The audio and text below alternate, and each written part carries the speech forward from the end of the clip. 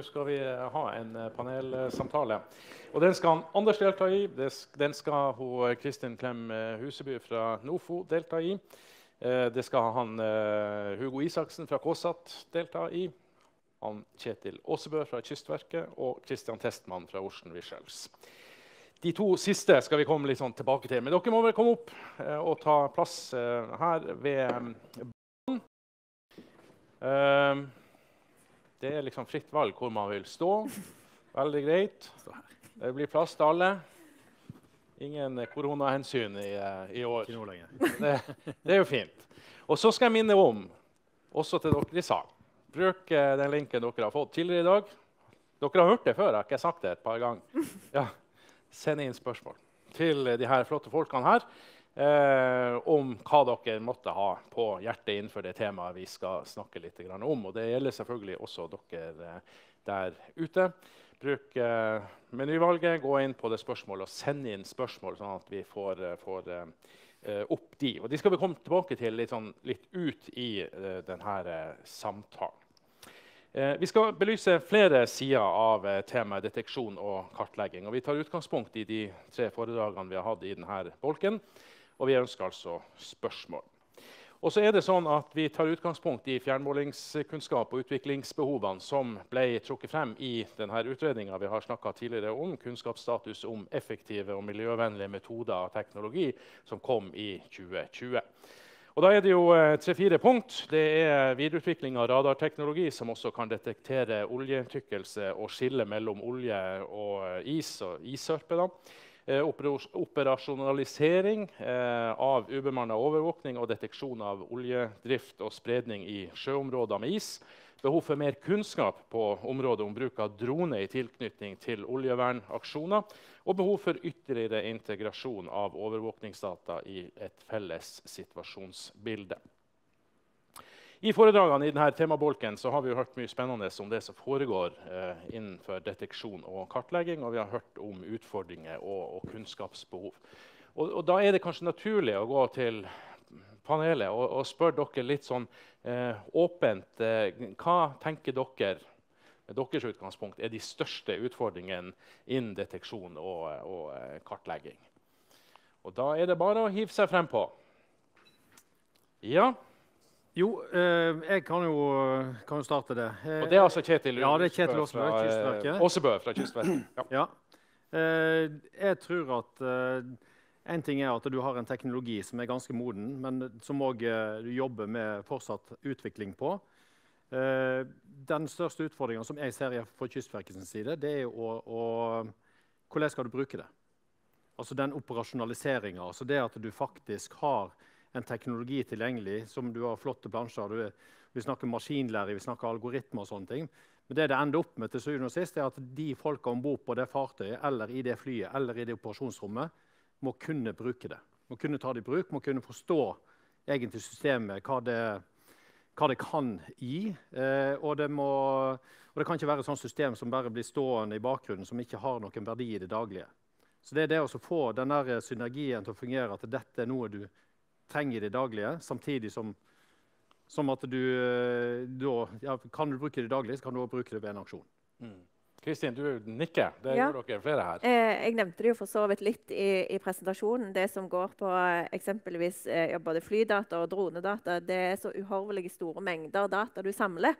Eh, og så har du gjerne behov bare for en brøkdel. Og så det å kunne ta ut akkurat det du har behov for, eh, og gi det til de det til beslutningstakerne som, skal, eh, som sitter på fartøyet, innsatsledelse, eh, enten til sjøs eller eh, i et IUA eller eh, eh, hos aksjonsledelse. Men Hvordan kan vi sikre at den kunnskapen er der når man har behov for det? Altså At det finnes folk der som faktisk kan betjene det utstyret og, og, og gjøre det utvalget som du snakker om? Da er det jo kjempeviktig at de er med og, og trener og øver reelt eh, sammen med oss og har en forståelse av hva, hva, er viktig for oss. Eh, ja. Kåssat, hva du tenker i forhold til utfordringer eller i forhold til det vi har snakka om akkurat nå, med, med, med kompetanse? Ja, nei, altså, man, det er sant at uh, vi leverer en tjeneste med masse informasjon og, som står og går. og Det er veldig viktig å ha et aktivt forhold til den informasjonen vi vi leverer. Eh, og så er det viktig å kanskje delta på NOFO sine fjernmålingskurs, som er åpne for alle hvis man trenger læring. Og de kursene går en par ganger i året. Så, mm. Mm.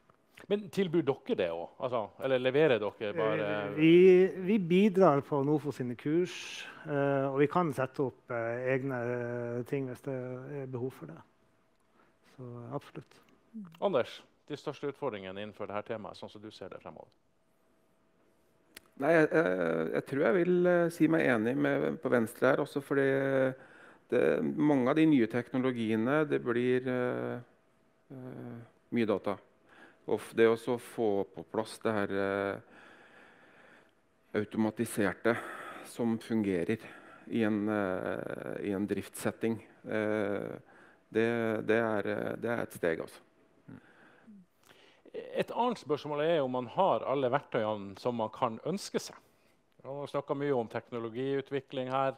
Eh, hva, er, det mer der som man kunne ønske at man faktisk hadde, eller handler det om at man først må på en måte utvikle det? En har jo ikke alt. for det, det, Ellers hadde ikke vi stått her. tenker jeg. Det er jo et behov for å få videreutvikla teknologien. Mm. Eh, men òg det jeg tror kanskje nøkkelen til teknologiutvikling det er ikke bare å kunne tenke sånn isolert sett på den ene kapasiteten til det systemet som du eventuelt utvikler. Det er å se på helheten. Så er det andre, andre ting det kan brukes til òg. Eh, F.eks. det med altså, CQ, altså, Vi snakker IR-kamera, eh, dagslyskamera på fartøy.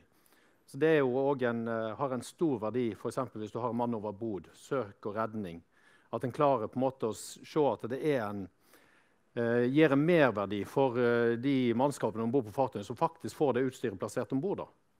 Så det, det, det en, jeg tenker Med en framtidig teknologiutvikling er det òg å kartlegge potensielle andre bruksområder som kan være relevante for mannskapet om bord. Den rapporten vi om, og som dere har snakka om tidligere, uh, her, den, den, viser jo at det selvfølgelig er svakheter med, med også alle, alle system. At man er avhengig av flere system. Uh, oppfatter jeg det rett, som ikke kan noe om det her? Man er helt avhengig av å bruke ulike system, for at det er ikke bare ett som kan.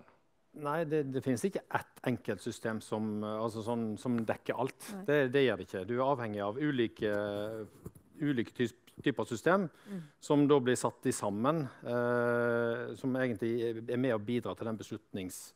Eller den situasjonsforståelsen. da. Mm. Men det krever jo litt grann, eh, altså det krever et spesielt system egentlig for å få det til. Eh, og integrere de dataene. Eh, og, det, og så er spørsmålet hvem skal ha dataene. Skal de ha det om bord på et fartøy, eller skal det, skal det, deles med en aksjonsledelse i land eller med en operatør? eller eh, hvor det er. Så det, det er et ganske sånn komplekst bilde som, uh, som en må jobbe ut ifra.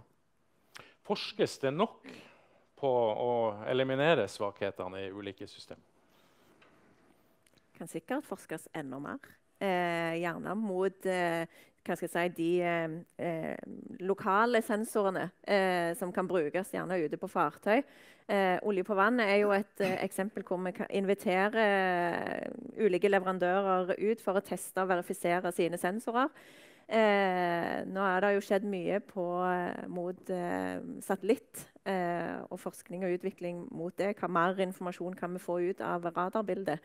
Eh, men det fins nok mange andre sensorer som vi kan bruke til lokal overvåking rundt et fartøy. Eh, multispektrale kameraer eh, er òg eh, interessante sensorer som kan gi oss mye informasjon eh, eh, mot det tradisjonelle IR-sensoren. Det er, nok, er nok en vei der. Ja, og laser. Og laser. Jeg vet at det, det mm. fins jo òg på markedet. Ja. ja. Ja. Det gjør det. Og det gjør vel kanskje Det var et lite sånn stikkord der om at vi skal bringe inn eh, den vi ikke har presentert her, nemlig Christian Testmann i, i Ocean Visuals. Eh, og du bringer inn en, en, en eh, ja, ny teknologi ja, uh, i, i, uh, innenfor dette feltet. Fortell. Hva, hva, er selskapet ditt, og hvem er du? Ja, okay. Så Det vi har gjort, da, det er at vi har tatt det med multispektralt et steg lenger. Så vi bruker lasere. Vi bygger lidarer uh, men med kraftige lasere i, i ryggen. Og så induserer vi fluoresens Så det var noen som nevnte fluorometeret her i sted. Så kombinasjonen av spektraldata og fluoresens gjør at vi eh, kan skyte en laserstråle enten fra fly, eller fra droner, eller fra helikoptre, eller fra en PSV, eller fra en rigg, eller fra ei bøye ned i vannsøylen. Og det gjør at vi, i, vi identifiserer ett og ett hydrokarbonmolekyl, altså part per million, ned i vannsøylen. Så vi ser fra overflaten og ned i vannsøylen. Det høres helt science fiction ut, men det er det ikke. Og den Teknologien har eksistert siden omtrent laserens opprinnelse, så det er ikke noe fancy-dancy rundt det. Så For syv år siden fikk vi fra Equinor Mongstad-laboratoriet fysiske oljeprøver fra de ulike oljene som var i Nordsjøen, som tatt opp av Equinor. Så vi typebetegnte, og så la vi spektralbildet, som er helt unikt, akkurat som et fingeravtrykk, inn i en database inni sensorene våre. Så hver gang vi skyter ned i vannsøylen, så får vi med en gang tilbake eh, et bilde som er helt unikt for det vi har truffet på. Og så sammenligner vi det med databasen. Og det er klart det genererer veldig mye data. og det er ikke operatøren interessert i, eller NOFO eller noen andre. for den saks skyld. Men vi gir bare da klart beskjed om at eh, det er funnet så og så mange PPM med olje. Det er denne oljetypen. Og sannsynligvis er det ja, enda mer detaljert enn det. Det er det vi jobber med Brasil og Petrobras på akkurat nå for å bygge Brasil sin database. Så vi, vi jobber mest i utlandet med amerikanske myndigheter, oljeselskaper, sydamerikanske, Midtøsten, India. Det er det vi har hatt fokus på nå under pandemiårene. Så har det jo vært ja, for alle, regner jeg med, kjempehardt. Og Spesielt når du da bygger og introduserer ny teknologi som på en måte tar summen av kjente ting og drar det enda videre. Ja. Du sier at hører, dere, dere, må komme litt lenger frem. fordi at uh, dere står ja. sånn i, eh, i, uh, Dere er jo ikke noen beskjedne folk. dere står litt mer frem, frem, i lyset når vi skal prate om det her, sånn at vi er sikre på at alle ser. Uh, men, men, men, du sier at det høres litt sånn science fiction ut. Men, men hvorfor er ikke det i bruk, da? Eh, det er sånn at uh, Innenfor oljeindustrien spesielt så er det en ekstremt konservativ bransje. Og hvis du også ser på um, det med å kunne bevise ting da, så vi, Hva vi gjorde, var at vi prototypet sammen med Kystverket. Uh, Kystverkets beredskapsavdeling uh, og Kystverkets rederi. dere er jo her i rommet i dag, ser jeg. Og, og vi testet ut på OV skumvær og OV utvær. Eh, for å få aktiv erfaring på prototypene. Men når vi skulle industrialisere, så visste vi at det kom til å bli sett enormt markedsøyne på den teknologien, så vi gjorde en avtale med Hurtigruta. Så vi hang sensorene på hurtigrutene. Og så skjøt vi hvert 30. sekund, dag og natt. For en laser bryr seg ikke om det er mørkt, eller om det er lyst, eller om det er kaldt eller om det er varmt. Kan være problem hvis det er ekstremt tåke eller ekstremt regn, men bortsett fra det så går en laserstråle rett gjennom det meste når det er en klar sikt. Og eh, vi hang i to og et halvt år på Hurtigrutene, og vi sitter på den absolutt største databasen av hva som befinner seg i vannet langs den norske kysten. For hvert 30. sekund på en 11-dagers seilas det blir ganske mye data i to og et halvt år. Så, så, vi har på en måte dokumentert at det fungerer. Og Kjetil her han var en av de som fikk varslinger, og vi avdekket lekk landanlegg. og når fiskerbåtkarene hadde vært uheldige og fylt ei havn eller to med, med marin diesel. Og, ja, vi, vi, vet at det fungerer. Vi har bevist det. Spennende Kjetil, med, med ny teknologi. Ja, absolutt. Det er spennende med ny teknologi. Og så er det jo, er det jo det, det ut, Utfordringen med eh, all ny teknologi er jo det også å, å få ting implementert. Det er eventuelt å ta en beslutning på er dette en del av en beredskap eller ikke. Og det er jo, det er jo egentlig der som er, er egentlig en vurdering som vi må ta med alle typer nyutviklinger som eh, blir eh, Eller ja, ny teknologi som blir utvikla. Det er jo dette med hvor, hvordan skal vi få plass til det i, i verktøykassen. Så det, vi, vi, kjenner godt til det systemet til Kristian. Og og det er jo det er klart det, det, det, må passe inn i en helhet, i, og ikke minst i den statlige beredskapen, som er, som er litt annerledes bygd opp enn eh, det er de kravene som en, et operatørselskap uh, må fylle. Da. Kan du si noe om hvor langt man er i sånne prosesser, eller, eller er det, er et sånt løp som, som går? Nei, det, altså det, det handler om, egentlig, er jo, det er jo For det første er det jo, eh, det er jo et behov som først må avdekkes. Mm. Eh, og så må det kobles opp mot en, eh, en analyse, beredskapsanalyse eksempelvis. Eh, å, og du må ha en sannsynlighet for at det skjer en uh, hendelse. Hvor det skjer, risikoen for uh, miljøet i det området. Ende opp med en analyse, og Så skal du lage en handlingsplan til den, som da blir gitt til, til departementet og til politikere til å vurdere og eventuelt tildele tilbake til Kystverket. Det er jo, det er den måten den statlige beredskapen er bygd opp på. Og Da er det jo det å få nye systemer til å passe inn i det bildet basert på hva tildelingen eventuelt da får fra departementet eller fra Stortinget. Så dette her er, det, det er ikke noen sånn enkel sak, egentlig. Men uh, det er klart at teknologi, uh, det å eventuelt vurdere ny teknologi, det må jo da ses i sammenheng med, med hva behov som er identifisert.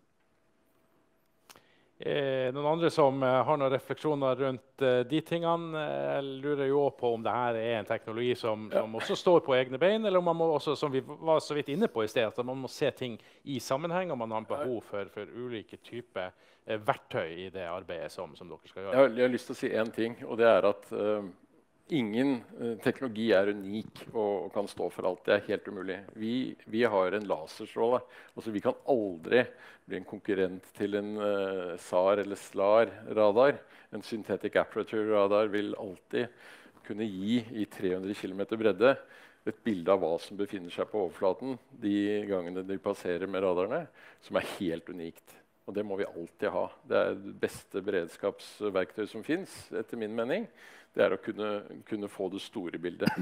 Men så kan man tenke seg en fremtid hvor eh, droner, enten de går under vann, eller de går i lufta, eller de er bemannede fly, har sensorer som gjør at kanskje eh, Kystvakta da, ikke behøver å dra mange hundre nautiske mil ut for å finne døde hvaler som genererer olje og gjør at det blir endringer som satellittbildet ser osv. Så, videre. så det er bare et eksempel på den typen tankegang. Kanskje vi kan sende droner i fremtiden med type sensorer som vi har, men også med kameraer osv.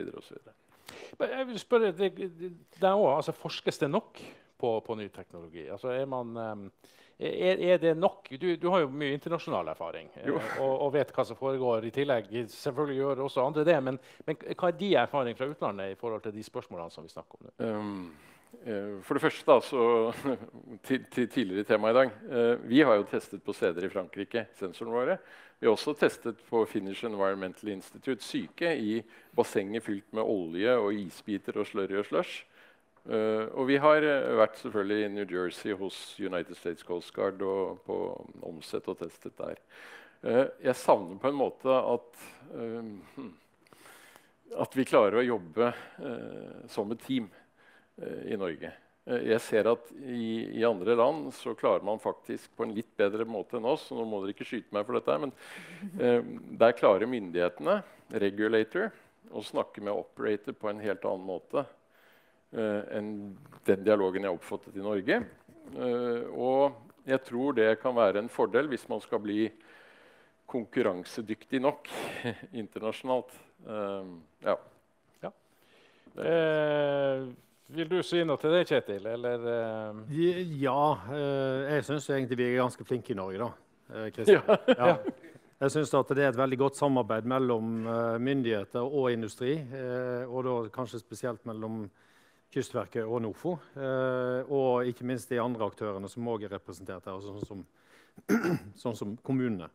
Så det, altså Den norske modellen, eh, oljevernmodellen altså gjennom forurensningsloven altså det med at du har en privat, en kommunal og en statlig beredskap som skal fungere i et system, den, den er god. Det er en kjempefin modell som, vi, som, faktisk også be, be, som er anerkjent internasjonalt. Da.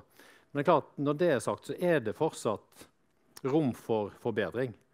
Eh, når det gjelder samarbeid og det å kunne utvikle produkter i fellesskap. Eh, men, men, det er en balanse. Altså det, det, du har på en måte en som er kravstiller, i dette tilfellet for operatøren, det er Miljødirektoratet. Jo, de snakker om hvordan de skal stille krav, men liksom, de, de, kan ikke gå og definere inn på mikronivå hva type sensorer hva type data eller systemer som skal være der. Det jo, det, da blir det helt håpløst å, å, stille krav. Og så er det opp til operatørene å levere en, en beredskap som er i tråd med de kravene. Kystverket har jo egentlig ikke noen krav. Det er jo noe vi definerer sjøl, basert på våre analyser. Og bygge en beredskap ut ifra det vi får anledning til gjennom tildelte midler over statsbudsjettet. Det, men samarbeidet er, syns jeg, er, kjempe, synes jeg er kjempegodt. Takk for det. Dere skal bli stående, fordi at uh, nå må vi jo ta inn uh, alle de tusen spørsmålene som er og i det hele tatt, de er i ferd med å sprenges her, har jeg fått beskjed om.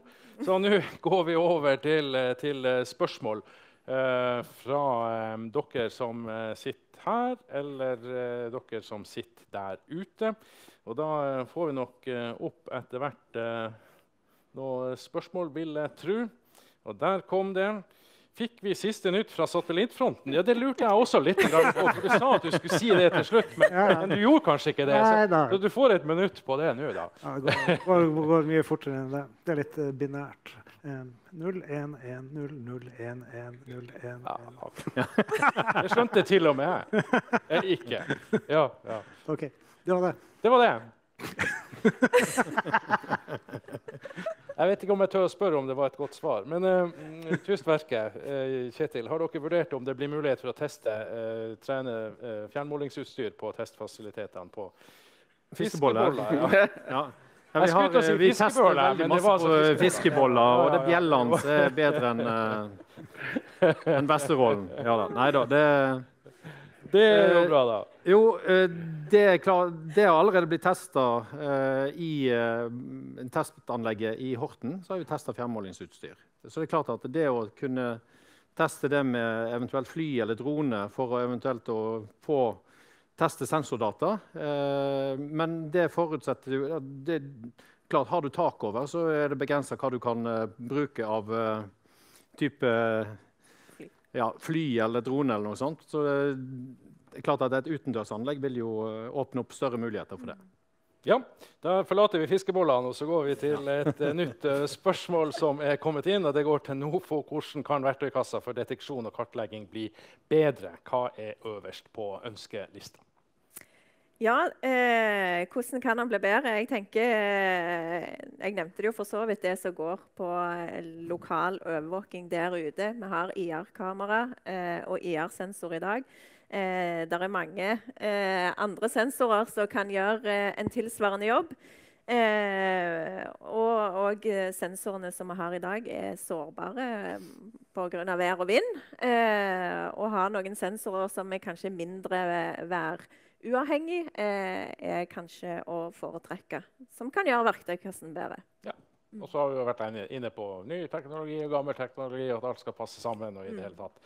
Så det var svaret på det. Vi tar inn et nytt uh, spørsmål. Uh, vil flyovervåkning også finnes i fremtida? Altså? Uh, eller vil den bli erstatta av noe annet, f.eks. fixed wing drone? Fixed wing drone. Hva betyr det? Det betyr en drone med vinger. Ja, ja, akkurat. Ja. Det er fint. Det var noe enkle. Ja. Det visste til og med statssekretæren. Ja. Ja.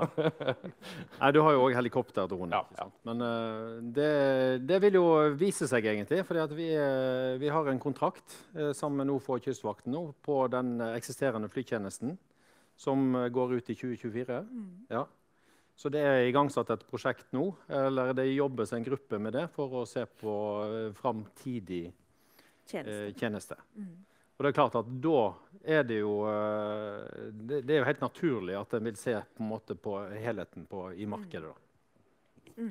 Andre spørsmål? Det har vi flere som eh, kommer opp. Her var et langt et. Radar og IR-detektere endring på overflate. Hvordan identifiserer og verifiserer dere olje i vannsøyla? AK hva det betyr. Det er, vet du, det er mye forkortelser for en sånn skarve Det var jeg som lagde det spørsmålet. Det ser jeg, for det er jo så langt. å ja, ja, ja, Men det, det jeg egentlig spurte om, da, det, det var eh, hvordan dere, eh, i, når dere aksjonerer, eh, hvordan dere definerer eh, klassifiseringsdelen i dag. For det må jo være veldig vanskelig. Må dere ta vannprøver, sende det på laben? Hva, hvordan aksjonerer altså, ja. det, jeg kan prøve å svare. Eh, når, vi, eh, når, vi, har en hendelse, så blir det tatt prøver av oljen eh, for å finne ut hva oljetype det er, og hvorvidt den er dispergerbar, lar den seg dispergere og den slags. Eh, og så er det jo òg eh, eh, Men i forhold til da blir det visuell observasjon i forhold til Bond Agreement Appearance Code. Det er en uh, metode som er anerkjent internasjonalt, og det er den som vi bruker uh, for å kategorisere uh, tykkelsen i et oljeflagg. Og, og, bruke de sensorene som, som vi har, da, og da IR-sensoren. Så dette handler jo først og fremst om eh, å få eh, sensorer som sier noe om tykkelsen på havoverflaten. Det som eh, foregår under eh, havoverflaten. Eh, der har ikke NOFO noen verktøy i dag. Eh, må dere arrestere meg dere fra NOFO hvis jeg sier noe feil. Men det er hovedsakelig på Dere har ikke noe annet enn vanlige vannprøver? overflate? Mm. Ja, det er bra. Dere er fornøyd med svarene som, svaret som kom? Ja, det er flott. Ingenting er bedre. Vi tar inn et uh, spørsmål uh, til. Jeg har jo til og med et, som jeg skjønte Hvor, tykk, uh, tykk olje, hvor tykt oljenivå kan måles med laser? Det er vel til meg, da. vi har gjort målinger med vanlig 380 nanometer pulslasere som kan måle 2 mm tykkelse. Og det er klart at De tykkeste oljene grauten, som noen kalte det her i dag, de skyter ikke vi gjennom. For vi, eh, vi er eh, lysbasert. Selv om det er 308 nanometer eh, ultrafiolett lys, så, så, klarer selv ikke vi å penetrere eh, gjennom la oss si, riktig tjukk graut. Eh, det, men vi kan sette lidarer inn i UAV-er, undervannsenheter, og da ser vi den eh, den oljen uh, uansett. Så ja. Teknologi er uh, artig, men uh, in, in, ingen kjente stråleteknologier kan penetrere og detektere tykke lag. Vi, vi, er det nærmeste du kommer i å måle tykkelse mm. fra lufta. Ja. Jeg tror vi må prøve å få tid til et par spørsmål til. Um, Og da Ja, jeg tror vi to, tar to spørsmål til. Um, så hvis vi får opp et nytt, um, så hadde det vært uh, fint. Og der er spørsmålet er satellittkapasiteten påvirka redusert som følge av krigen i Ukraina. Det må gå til KSAT. Ja. ja. Eh, svaret er vel eh, ja, lite grann. Og noen satellittkonstellasjoner er mer påvirka enn andre. Eh, men med den verktøypakken vi har, så har vi egentlig levert uh, ganske sånn upåvirka til NOFO da, og til våre kunder. Uh, men generelt så ja, absolutt. Det er forsvarskundene som betaler mest for kommersielle satellittbilder. Og nå fokuserer bl.a. ICEYE veldig mye på, på Ukraina. Vil det bli ei utfordring sånn fremover? Nei, jeg tror egentlig ikke det. Ikke, ikke sånn som vi opererer. en konflikt nærmere Norge eller de satellittbanene våre ville påvirke oss mer enn Ukraina, som er ganske langt unna. Ja. Eh, vi har et siste spørsmål som vi tar nå før vi eh, begynne å avrunde. Vet dere hvordan IUA trenes i å bruke deteksjon og kartleggingsdata? Vi snakka litt med IUA-en fra, fra, Bergen om, om det. Mm. Um, det er vel Kystverket? Ja, ja Kystverket og til dels NOFO. Uh, ja. For jeg tenker at uh, Kystverket har jo en rolle overfor IUA med at vi er fra nyttår av blitt kravstiller overfor kommune og IUA når det gjelder beredskap mot, eller den kommunale beredskapen mot akutt forurensning. Eh, men vi driver jo òg og trener de opp mot eh, i, i, forhold til vår samordningsrolle. Eh, men, men, det er jo ikke sånn at vi stiller krav om hva de skal ha av systemer. og sånt. Altså det, men IOA snakker jo om at de har en del drone, dronekapasiteter. en del av de. Og det antar jeg Det er jo ikke pga. våre krav, men det er pga. eget behov. Definert behov. Og så er det jo dette med at du kjøper en kapasitet, så må du tenke flerbruk. Og da er det dette her med at Dronekapasiteten til et IUA vil jo bistå i å bygge et situasjonsbilde, situasjonsforståelse i det daglige ved brannhendelser. Men det kan òg brukes eh, ved strandsone, altså kartlegging og oljeutbredelse. Så det, det, er jo et godt eksempel på at det har en merverdi. Da. Men eh, vi trener de i med å, å, ha en del kurs som går på eh, sånn Shoreline Cleanup and Assessment Techniques.